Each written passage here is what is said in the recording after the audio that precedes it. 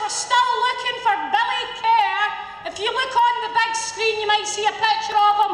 Please, everybody, shout out Billy Kerr.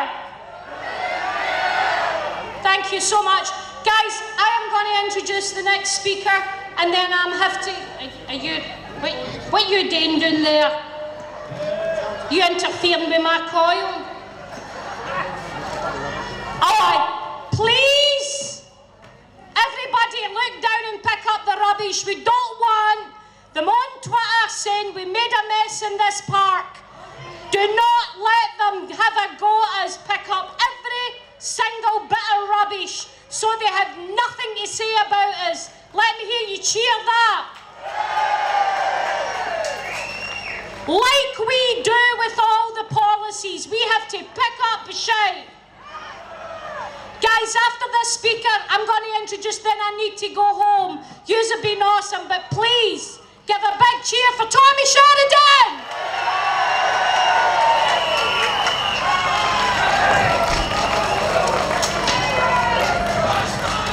Brothers and sisters, what an absolutely fabulous day we've had today.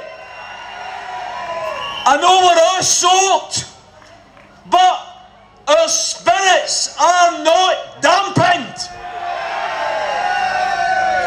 It gives us more resilience to march through the rain today.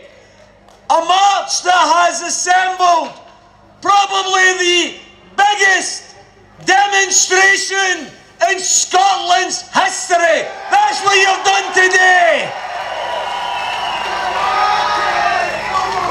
And you know, yesterday there was a story which brought everything into focus for me about why we need our independence. A story that some of you might have read about or heard about. There's been a consultation conducted by the Scottish Government, and 16,000 Scots have been part of this consultation, and it's been about the sale of fireworks. And the government has been concerned because ambulance crews, firefighters, domestic pets have been attacked by the misuse of fireworks. And the government's been asked to do something about it because emergency service workers are there to do a job, not to be attacked by fireworks on the 5th of November.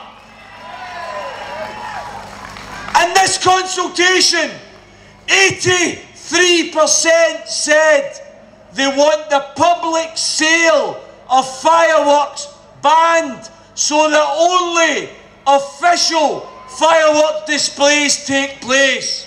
And I thought, well, if 83% support that, then it must be no bad idea. And then the Scottish Government had to admit they're powerless. The sale of fireworks is reserved to Westminster. We've got a Scottish Parliament that's been there since 1999.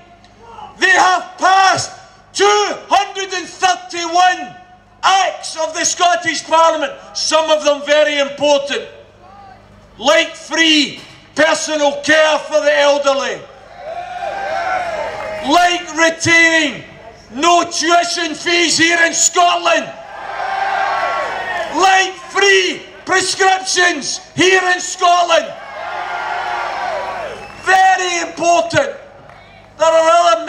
Which are important, but maybe not quite as important as other measures. We've passed bills on dog fouling, we've passed measures on high hedges, and that's the crux of the matter. We've got the power to regulate high hedges, but we can't determine that we can ban the bloody sale of fireworks. We are a wee pretended parliament. It's almost like parental guidance There should be a PG notice out of the Parliament. Brothers and sisters, we've had enough. We've had enough of a parental guidance Parliament. We want an adult Parliament to take our own decisions. We don't just want to take decisions on high hedges or dog fouling. We want to take decisions to banish poverty and inequality. That's what we want to do. Independence for us can never be the end of the journey. Independence for us has to be the start of the journey. The journey, brothers and sisters, to create a fairer Scotland, a more equal Scotland, a Scotland that welcomes refugees, a Scotland that hands out friendship, not a fist of fury to those who are fleeing the bombs that the Western powers are dropping upon them. A Scotland that says loud and clear, we think hospitals and schools and children are much more important than illegal, immoral weapons of mass destruction.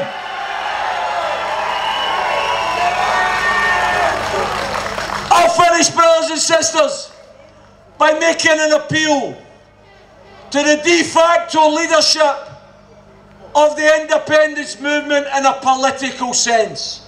We're the grassroots, we're the heart of the movement. But the political leadership have got a job to do. We gave them a mandate three and a half years ago. There are some people in England and Wales who I find it difficult sometimes because there's different views on Brexit and the European Union. And I find it difficult sometimes when I listen to the voices in England and Wales, not the bigoted ones, not the racist ones, but the ones who said that they voted for something three years ago that still hasn't happened. And I say to myself, we voted for something three years ago that still hasn't happened. My appeal to the SNP, I know you've got a hard job. I know it's difficult running Scotland, and it's going to get harder. It's going to get harder with Johnson and his right-wing group of bigots and racists and reactionaries. I say to the SNP leadership, please, either use the mandate or fight the election in November on a clear manifesto commitment. If you win that election, then you negotiate our independence. That's what you should be doing.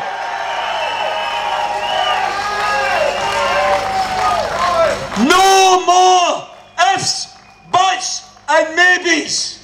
We've walked far too far far too many times to be let down again.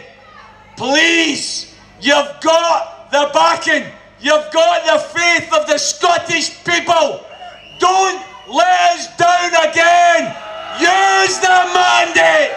Thanks very much.